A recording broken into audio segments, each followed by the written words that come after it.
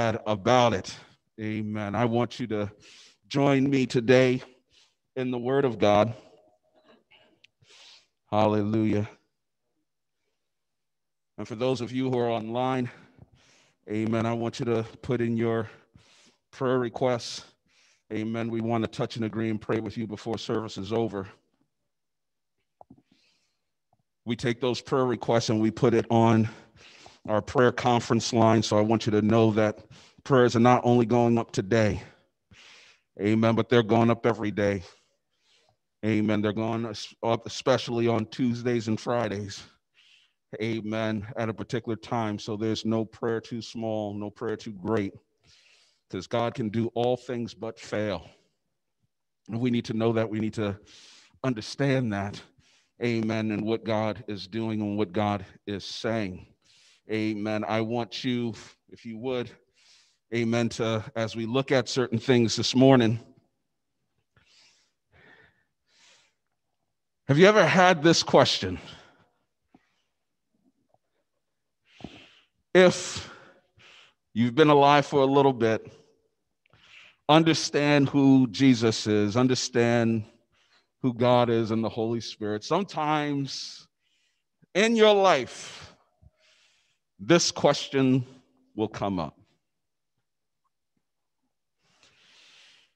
Much is written, preached, counseled concerning the will of God. I've heard some interesting things. Explained sometimes by a simple phrase for a bizarre situation. It just must be the will of God. And I've seen some disastrous things, failures in life, and people involved trying to explain actions, and you'll hear things like, I thought it was the will of God. I preface this to say, I would rather you step out on what you believe God is asking than not to do anything at all. But there's some guidelines, there's some basis to what we can think about. And you're always looking for sometimes, I wonder what God would direct me to do in this situation. I wonder what God would have me to do. Where should I go? What should I do? What should I do next for my life? Sounds familiar to anyone? Okay. And sometimes young people were, as we, as as as they would try to figure out life, and they're trying to think about things like career. They're trying to think about things uh, potentially like education. What do I do? Ministry, marriage, relationships. What are those things all about?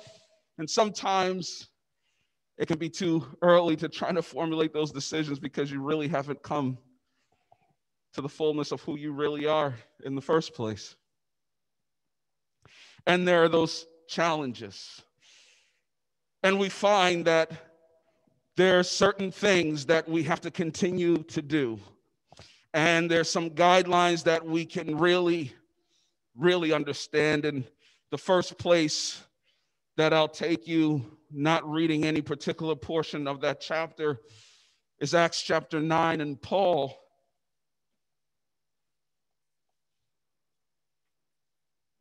He was on his way to Damascus. He was traveling to a town. And he was going to get letters from the legal authority to persecute the Christians, on his way to persecute God's people.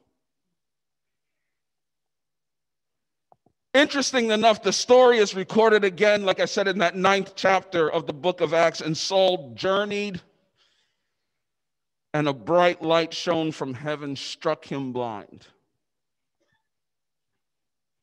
When Saul found out it was Jesus calling his name from heaven, he asked, Lord, What would you have me to do? Hmm. At that point, he was given div- divine direction. Jesus told him, Saul, I want you to continue to go to the city and take lodging in a particular street, in a particular house of a man named Judas. There he told him, It shall be told to you what you must do. Hmm. This man was killing Christians. This is not a part of my message, but I would be crazy not to stop here and say this man was killing Christians, persecuting Christians, crucifying, hanging, whipping Christians. And yet, God stops him and says, I have something for you to do. Now, if I was the CEO and I knew someone was trying to tear down my company, potentially they would not be the first candidate that I would go ask, Would you come join my team? Okay? If I know that you are a bully and you don't like me, but yet all and you do everything against me, and then all of a sudden I say to you, I want you to be on my team this round. No. It doesn't make sense, but God is not like us. He doesn't play favorites. There's no buddy system, there's no, there's no code.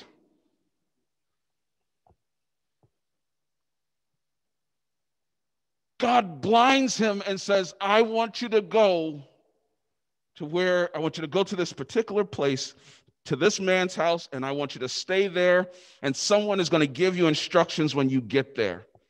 And Saul obeyed. He had those who were uh, within him to lead him by the hand or the place where God had spoke to him. He actually followed the direction. There he prayed and he was fasting, waiting for God to speak to him. After three days, God said to a saint named Ananias, told him where Saul was lodging and praying, and he told Ananias to go there and put his hands on Saul and pray that he might receive his sight and to receive the Holy Ghost. Now, in God's eyes, that is just normal. But for someone who does not know you to show up to a place that you didn't know you were going to and lay hands on you, you receive your sight again, and you receive the Holy Ghost. That's a pretty powerful thing to take in. At this point, you're taking in information like we would say you are drinking from a fire hose. It's, it's, just, it's a lot at one time. But we see here that he finds himself, Ananias goes, and meanwhile, Saul was in prayer. God spoke to him in a vision to let him know that a man named Ananias was coming. So you're in a place you've never been before, in a man's house you never met. Someone is coming who you don't know. And while you're praying, Andrew, God says to you, the person's name is Ananias.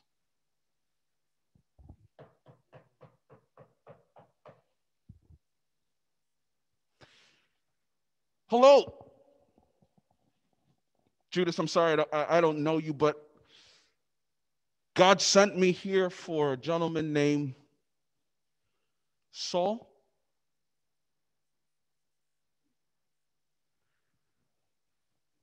God spoke to you too? He let me know a man was coming. And his name is Saul. He's here. Judas, did you say somebody named Ananias is here? Yes, Saul. Do you know him? No, I don't know him, but God told me he was coming. Okay, if we're watching this on TV, we're thinking everybody's crazy, right? Nobody's taking their medication, everyone has lost it. But now look at this here. Meanwhile, as he's praying, it happened just that way. Ananias showed up, prayed for him, his eyes were open, he receives the Holy Ghost, and he was baptized. Ananias prophesied to him that he had been chosen to bear the Lord's name to kings, to the Israelites, to the Gentiles. And in doing so, he would suffer great things for Jesus. Great things defined here is not good. Great things defined in this sentence is enormous, horrific scenarios, painful things are going to happen to you for in Jesus' name's sake. The testimony of his conversion and calling into ministry is powerful, and Paul shared it with people several times throughout the book of Acts. If you take the time to read that book, he knew that he would that he was in the will of God for his life, and it would always be in accordance with an overriding purpose of God. Here we find Paul in a scenario where he was going for letters to persecute the Christians, and now he's going not for letters of persecution, but to tell the world about Jesus. Have you ever been in a situation where before you accepted Jesus Christ in your life, you were a certain way and your friends knew you to be a certain way? And then all of a sudden, when you accepted Jesus Christ and people are trying to remind you who you used to be, and you're like, that's no longer me. I mean, it's me, but I no longer do those things. So he's going to these kings, he's going to these Israelites, these Jews, and crazy thing which was a very big controversial thing. Gentiles are people who were not Jews, they were looked down upon.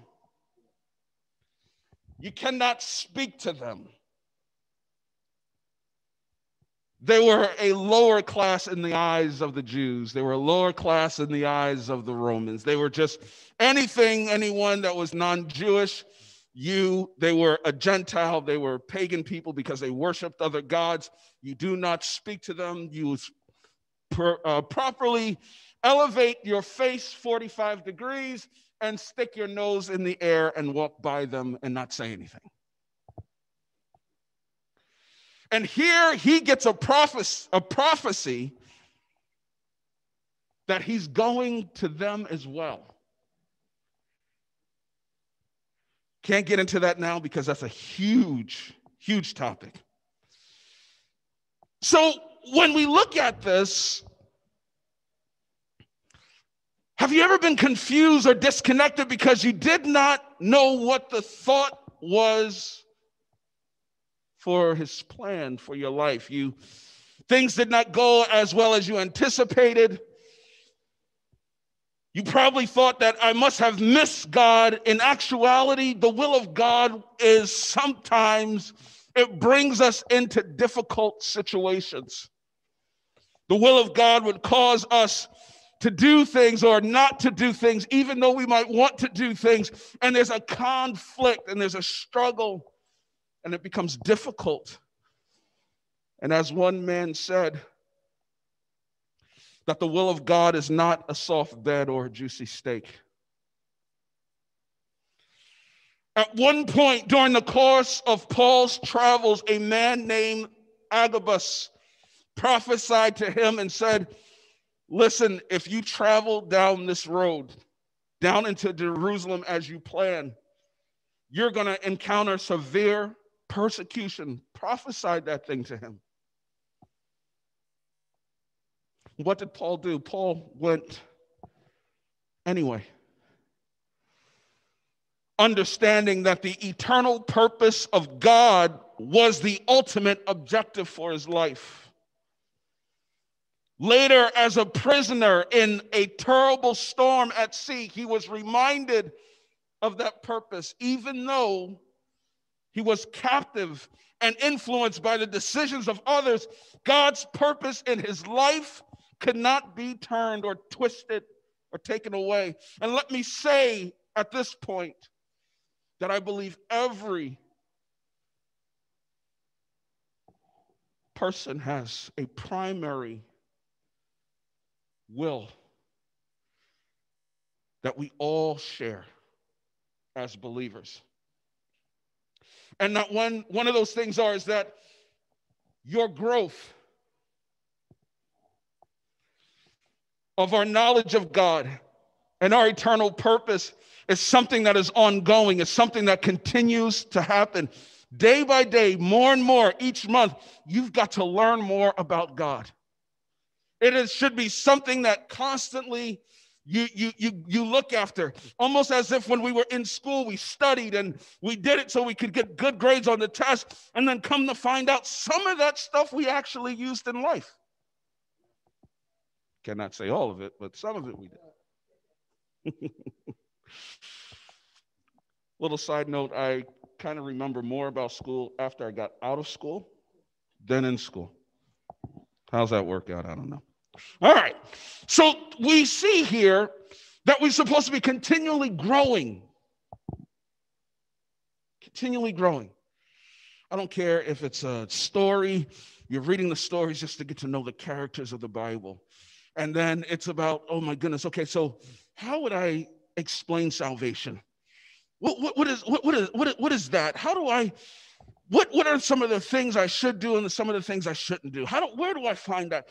And you begin to grow and you begin to know more. And the more you know, the, the closer you get to God and the closer you begin to understand, oh, I can't go that way because of that. No, I'll go this way.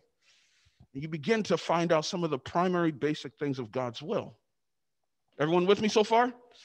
Okay, so he continues on his way, understanding that his internal purpose. So any person, place, thing, or situation that helps us grow in the grace and the knowledge of the Lord becomes a part of the will of God for our lives. Anything that helps you grow. I'm not just talking about great mentors, they're great. People can tell you about the Bible, tell you how to apply the Bible to your life, present day, phenomenal. But sometimes it's the bad things that happen into, in our lives that causes us to grow closer to God too. Anybody since the pandemic started to pray more? Anyone, when you find yourself in trouble, you begin to remember that God exists? If we tell them the truth in God's house, you know, sometimes we, we, we take our relationship for granted because when things are going well and he's leading us beside the still waters and you know mr rogers neighborhood is on and we're we're feeling great and sesame street comes on and diego is good and all those different things and everything begins everything is perfect and we begin to forget to talk to jesus So then Jesus becomes like IT, tech support. We only call him when there's trouble. And you would not be in a relationship with someone who is like that to you. Think about it. Would you be in a relationship with someone the only time they called you, the only time they came around is when they were in trouble? Relationship? Oh, friend? Mm.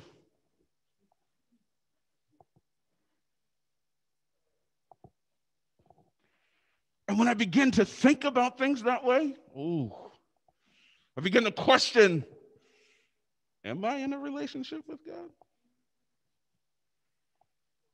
if that's the way I treat him, am I real? Am I in a relationship? He's in a relationship with me, but am I in a relationship with him? As you begin to learn more about Christ, you begin to ask yourself those kinds of questions, and they're uncomfortable questions. Gets a little quiet, right? That awkward silence in the room, then you're like, okay, how about that weather? We want to change the topic. Right? Pastor Larkins last week was talking about sin, and sometimes you just want to change the topic because it becomes uncomfortable. But those situations, things, people, places, things, when we realize it, if it brings you closer to God, then it was part of God's will for your life. Oh, it, it, it, it's. God will do whatever it takes to get to you.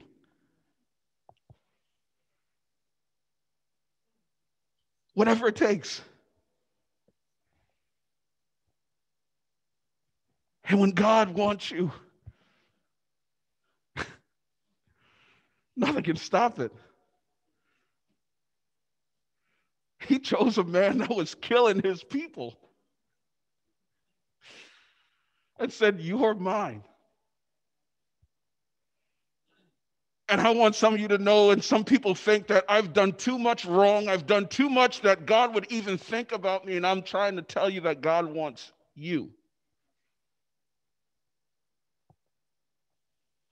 You are his creation each and every one of you, whether, you know, no matter how young, no matter how old you are, you, we all have this purpose, and God will use the things, people, places in our lives to bring us closer to Him. Sometimes, right, the situations in our lives, some people are in our lives, some things are in our lives for a short time, for a season of time, for a lifetime. But whatever it is, the problem is, is that sometimes we're not li- willing to let those things go at times.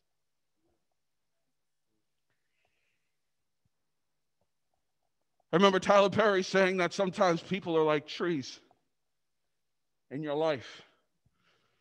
Some are leaves, they're there for a season and then they drop and they fall away. Some are like branches and they suck the nutrients. They're, they're there to get more, they're receiving more from you than you are from them. But if it wasn't for them, you wouldn't sometimes receive what you need because those leaves are the things that catch the water and bring it down into the branches and those roots. Some of the people are like the trunk and the roots, and they're in your life forever. Powerful thing to think about, powerful analogy and you got to look at sometimes, and it's a great time in the beginning of the year to begin to evaluate. God, what is your will for the different things, people, careers, and stuff in my life? What we need is some basic understanding of what the scripture says in the general will of God for all of us. So, as we look we go to Romans chapter 12, verse 1 and 2. And it begins to say in the King James Version, says, I beseech you, therefore, brethren. English Standard Version says, I appeal to you, therefore, brothers, by the mercies of God, to present your body as a living sacrifice, holy and acceptable to God. Which is your what? Reasonable service, your spiritual worship. One of the things that you're called to do, all of us. So that means, as the Bible says, lift your hands to the Lord. And he talks about singing praises to his names talks about those different things. And so sometimes, have there been times that you didn't want to praise God? I, I won't talk for you, I'll talk about myself. There's been times where I didn't want to praise the Lord. There have been times where I didn't want to lift up my hands. There's been times I didn't want to use my gift in playing the drums or singing to give God praise and give him glory. There were there has been times.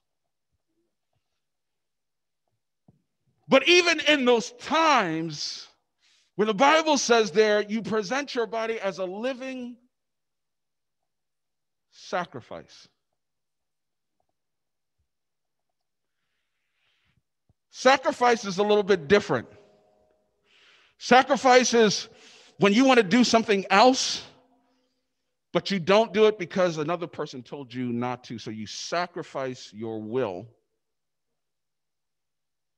to do that person's will. You remember growing up and your parents said, Boy, you better not lie to me. Girl, you better not. Don't. And you want to lie so bad because it'd be so much easier to get out of the situation, right? And you sacrifice what you want to do to please that person. Present your bodies as living sacrifices holy and acceptable to God. This is your spiritual worship. Okay? So we see here that this is something that is important for us to note, something important for us to see. And we need to continue to do that. Do not be conformed to this world, as it says, but be transformed by the renewing of your mind that by testing you may discern what is the will of God, what is good and acceptable and perfect. Do not think like this world. That's hard. We grow up here, we live here. It's around us all the time more so prior COVID than now. But it's on our TVs, it's on the internet, it's in our social apps, it's all over the place. It says, I don't want you to think like the world does. I don't want you to, you know, allow greed to be your motivation. I don't want you to allow lust to be your motivation. I want you to allow yourself to get so prideful where your head can't even fit in the room. I don't want you to think that the only way that you can get up is by stepping on someone's neck. Sabotaging their, their, their career at work so that you can get their position. I don't want you to act like the world. I don't want you to think like the world. And the only way that changes is to be transformed. And the way we transform our mind is by reading his word, hearing the word talked about, taught, preached, shared. That by testing, you may discern what is the will of God. By testing. So when I'm in a situation, because I, I'm beginning to know the word. I'm tested to know the will of God based on what I know. And what I know could possibly be what I picked up the phone and said, I'm not sure what I should do in this situation. What does the Bible say about this? Can you help me? Maybe as simple as typing in the question in Google and see what pops up. But even though the answer is accessible, the question is do I want to know the answer? Can we can we be real? Can I talk to you? do I really want to know the answer? What happened to the answer is something that I don't want. I don't like. Now I'm held accountable to it because I know the answer. That's a catch 22, right? That, you're, you're in trouble. So we note here that this is, I want you to see something, that this, this, what we see is not just, uh, we, we see uh, he will uh, for our lives is good, it's acceptable, and it is perfect. What is good and acceptable and perfect? That's what God wants for us. By testing us that we may discern what the will of God is, what is good, acceptable, and perfect. He wants that for your life. He wants that for our lives. And so when we look at this, we go a little step further. Determining God's plan for our lives, we see it in four different areas salvation, dedicating ourselves to Him, separation, and transformation. Salvation, amen. We can all give each other air high fives because we got the salvation thing down. We accepted Jesus into our lives. High five, everybody. One out of four. Dedication we must present, which means to give, to yield, to dedicate ourselves completely to God, become fully His, willing to do anything He asks us to do, go anywhere He wants to send us.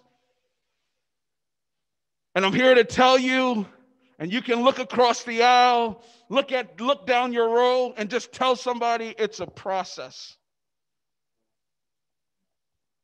That right there is a process.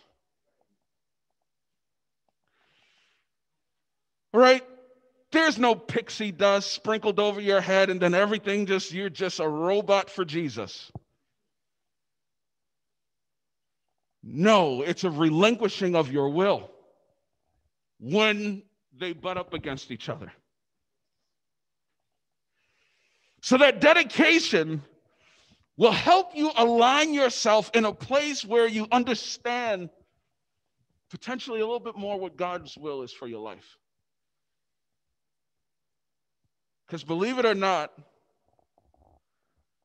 the kind of trouble that you get into with Jesus is more peaceable because you know you're in the right place. Third thing, separation we gotta we, we, we gotta clean up our lives, right? We gotta we gotta do take some of the things of the world and take it out of us in order to I, I know, yeah, lying, stealing, all those different things, greed.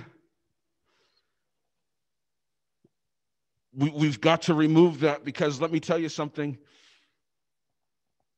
If God tells you to give someone that last $20 that was in your wallet, but you have a greed issue, you're not going to give it.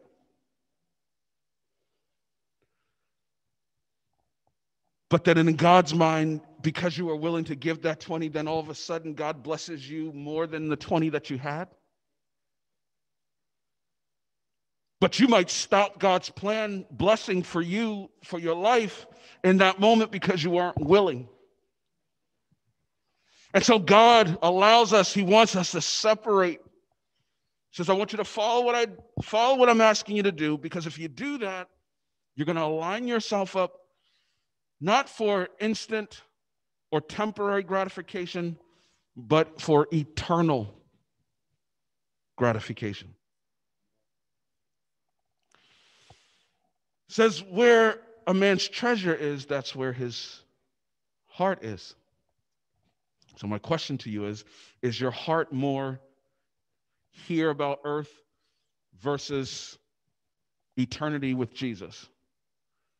Where are most of your treasures stored? Fourth transformation, daily study of the scriptures. Having communion with God to renew our minds in the ways that it will cause us to mature become more fruitful in the knowledge of Him.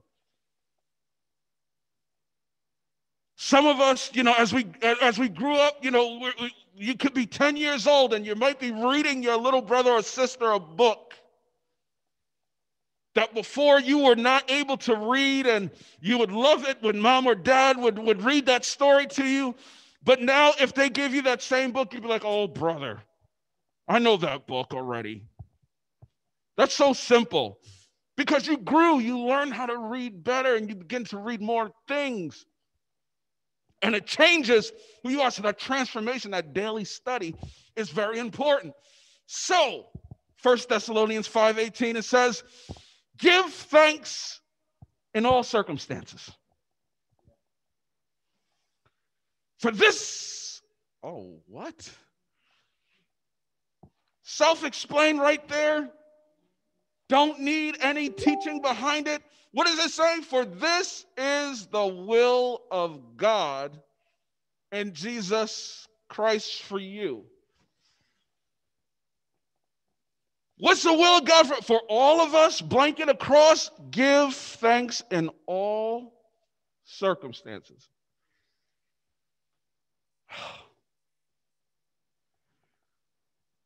Right? This one, I forget sometimes. I'll be honest. These are the kinds of things where you might want to take that live, love, laugh picture down or move it off to the side and put this scripture up so you could be it in the forefront of your mind. Right, all things get. Oh. I don't want to give thanks right now. I do not feel like giving. Uh, matter of fact, the things I want to say is completely opposite.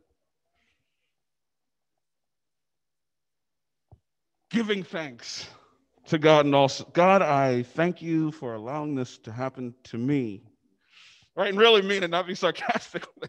you really got to mean that thing. And that takes growth. I'm still, everyone is still working on that one. If anyone says that they've mastered that, you lie. Because what you're saying, faith, your faith is never challenged. And that's not true. Everyone's faith is challenged because God is always trying to get us to trust Him more. Trust Him more. All right. This should be a nice fun one. First, uh, Thessalonians 4 3 through 7. As it reads there, we can see it. We see the passages of scripture as the will of God that we honor, that we live our lives in sanctification to set ourselves apart, to be different, as we talked about. We understand. I, I want you to read that one. First Thessalonians 4 3 through 7. But then, even in 9 and 10, We've got to understand that the will of God for us is also to love one another. So we set ourselves apart, we love one another. And in fact, our love for one another is to increase more and more towards each other.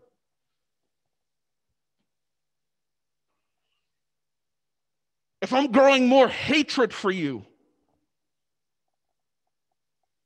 then I'm doing the opposite of growing. Because my love for you as I'm growing in Christ is not based on your condition. It's not based on how you feel about me. Bible said for God so loved the world. The ones who says there is no God. The ones who says who is God? There's so many of them. The ones who who who who, who spit on the people who say they love God. God says, I love them all. This is how he taps Paul Saul on the shoulder on the way to Damascus and says, I want you.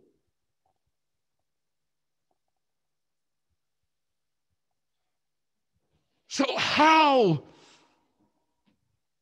how did God respond? How did Jesus respond he talks about loving those people who despitefully. And he says, I want you to treat others as if how you want to be treated, regardless of how they're treating. I want you to treat others the way you want to be treated. Not in retaliation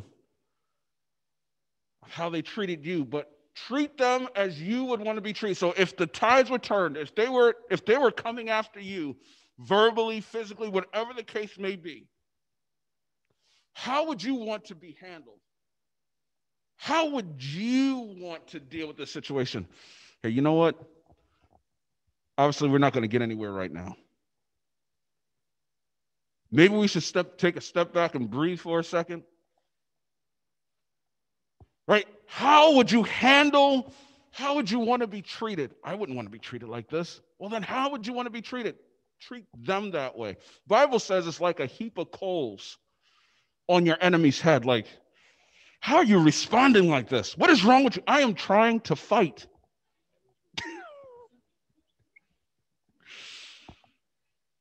you understand? This is completely different. I want to incite something out of you, but yet you respond, Jesus. And he mumbled not a word. And when he did open his mouth, he says, Father, forgive them, for they know not what they do. Who is he? Right? How do you respond like that? It's something that we grow into. So, loving your brother, we urge you to do that the more and more. And then it says that you aspire to lead. I want you to look at this. First Thessalonians 4 11 and 2. It says that you also aspire to lead a quiet life. What's that second part say? to mind your own business.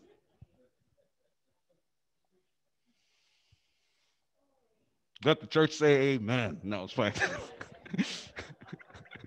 to work with your hands, right? That you may walk properly toward those who are outside, meaning that they're not a part of the Christian community. And that you may lack nothing. So be about your life with Christ. So that people on the outside who are not Christians yet, they look at your life and they're like, you know,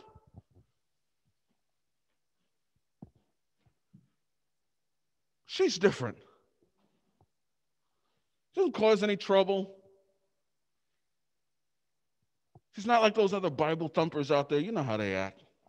She's, she's, she's a little different. I see her praying out there in the yard sometimes, and I see, you know, I, I see different things that they're doing. Feeding the hungry, and they're doing those different things. I can respect that.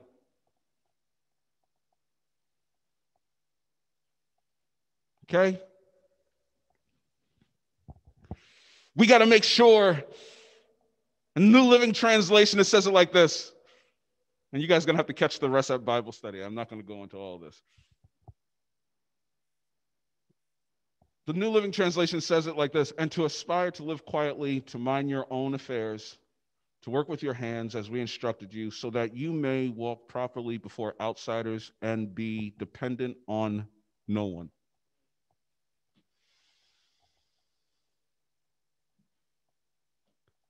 It's a process that we get to. And in some aspects of being in the overall will of God, it's at critical junctures of our lives. However, when our decisions could affect us, our families, and the church for a long time, it is a good, it's good to gain some insight. And the funny thing that when we look at some of the stories, there's a story about a missionary family uh, who lived years ago in the Philippines. And they lived on one of the outlying islands. And in order for them to get supplies, they had to take a large boat out to a particular point in the water and then move into a smaller boat so that the bottom of the big, the larger boat wouldn't bottom out and, and bust up and break. So when they would leave that, they would then have to go around and on the island, visible in their approach to getting to home, was a series of bright spotlights. And it was positioned to lead them through an extremely narrow channel of water. And when all the lights were lined up so that they almost looked singular, they knew that they were in a safe zone of the channel. And when they looked at that, that when all the lights lined up, it appeared as one light, it would help them distinguish the lights. And when they saw them that the lights weren't aligned, they knew that there was turns in the channel. So the missionaries were able to sa- safely travel through a very treacherous course. And sometimes this was at night. And they referred to it as lining up the lights to home. Lining up the lights to home. Sometimes we expect that Jesus will roll out the blueprint and all the details and plans for our lives will be all mapped out all there at one time. You are sadly mistaken. That is not how this rodeo is ridden. It's more like a scroll. you just get a portion of the scroll. And by the time you live through that, you roll down this, oh, that's why God went through that. Oh, that's how that happened. I didn't even know that you were there with me in that scenario. But now, as I'm reading this, as I'm seeing who, more about who you are, I realize that even when I wasn't acknowledging you, you are acknowledging me. And it reads like a scroll. And it's so funny because God's plan for us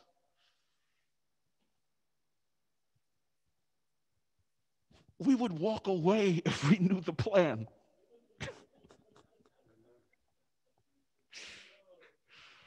Can I just be honest with you? You would walk away if you knew the whole plan. You'd be like, oh no. no. But he takes us through stages, challenging us little by little to get us to the next point. By the time we're at the next point, we're like, you know that, okay, was so bad. God, what's next? And that's why I say in the in, in, in the in the in our religion, in our relationship with God, there's no elevator option.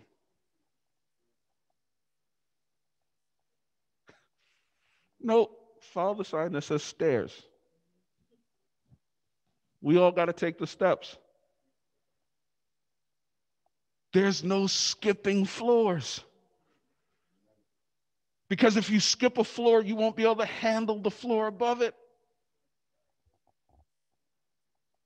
Everything about Christ is about preparation.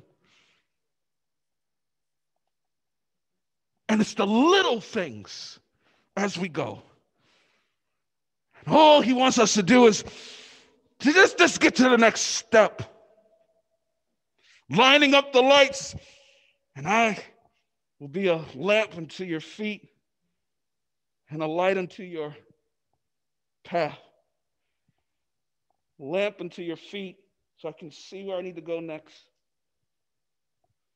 which in turn illuminates the path as I go. How many ever used the light on your phone to see something? Anyone? That light only goes but so far. Okay? Let's be clear. If you don't know what I'm talking about, I want you to go outside when it's dark out, turn on your light, and see how far down the street you can see. There's a limit to the, how far the light reaches. But if I point the light, I can see where I'm going little by little, right? Especially now because you don't want to do that whole little tap dance thing on the ice, just in case you step on it. And sometimes it's step by step that gets you to the destination.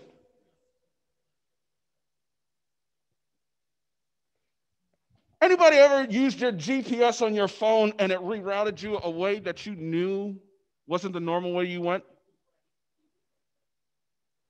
That it's frustrating because you're like, no, why, why would it send me that way? I'm, I'm going this way. It's going to redo the directions and go this way.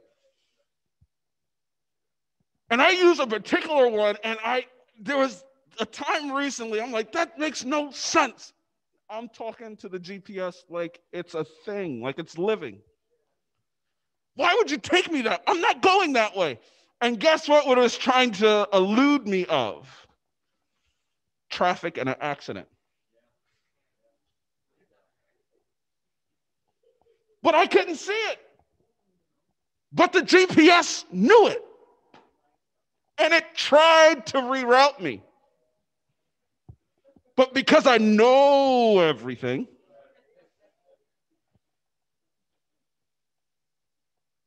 God is like, nope, I don't want you to do it like that no more. I'm trying to route you around stuff.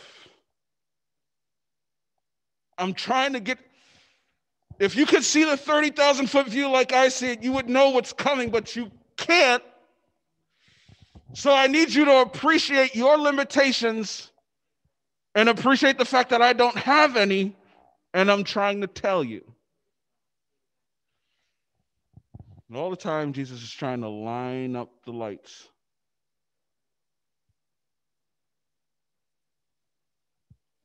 To get you home safely. We're going to stop here.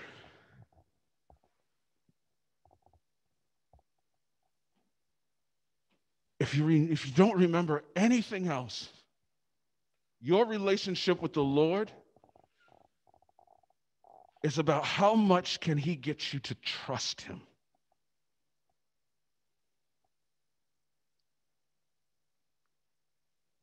You start your relationship with a God that you cannot see. You didn't have the opportunity like the disciples did to walk with him for three and a half years.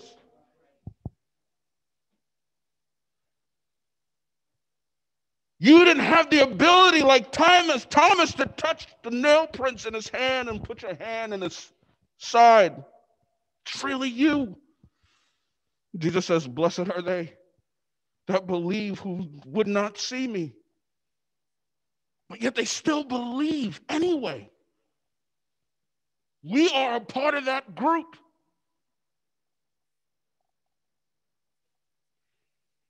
So I got to trust God more than I trust myself. Whew. I know me. You know how long I knew me? You know how long you knew you? All those years we've been, we've been together, me, myself, and I, we've been together. We were we like this. and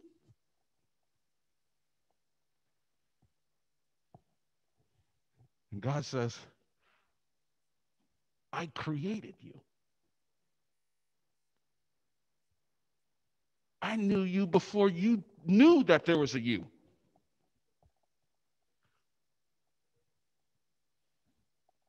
You can't even fathom how much he loves you.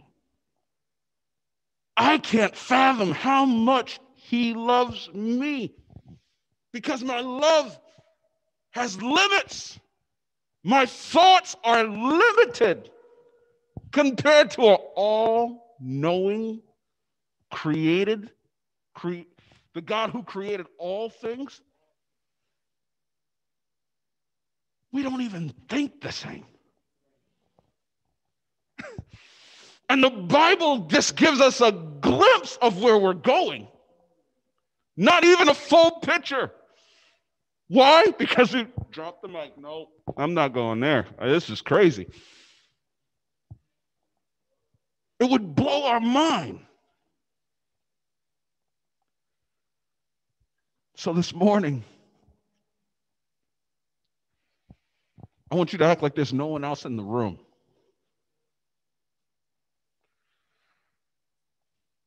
As you close your eyes or as you reflect,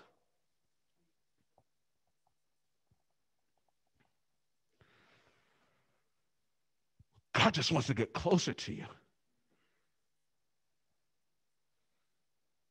And He wants you to want to get closer to Him. Now, as we stated, there will be some changes, but they're all for your good. Not the short game, the long game. And I need you to focus on the little steps that He gives us to get us to our destination. the question I want you to ask yourself is Am I ready? Am I ready? Because we all have those places in our lives where we have to ask ourselves, Am I ready?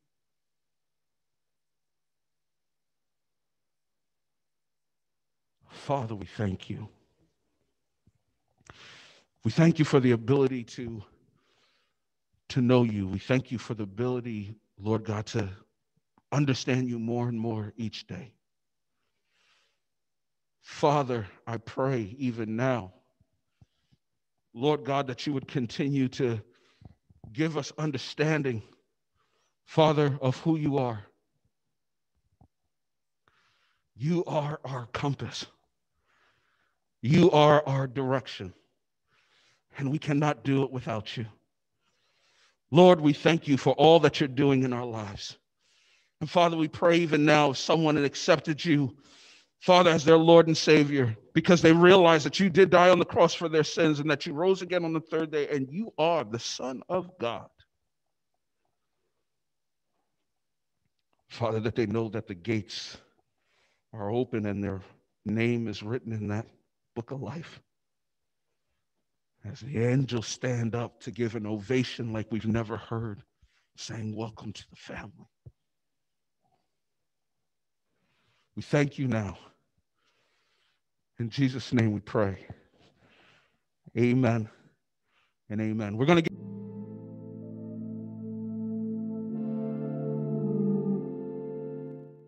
God bless you. Thank you for tuning in today. Pastor Arnold here. Be sure to subscribe to our channel.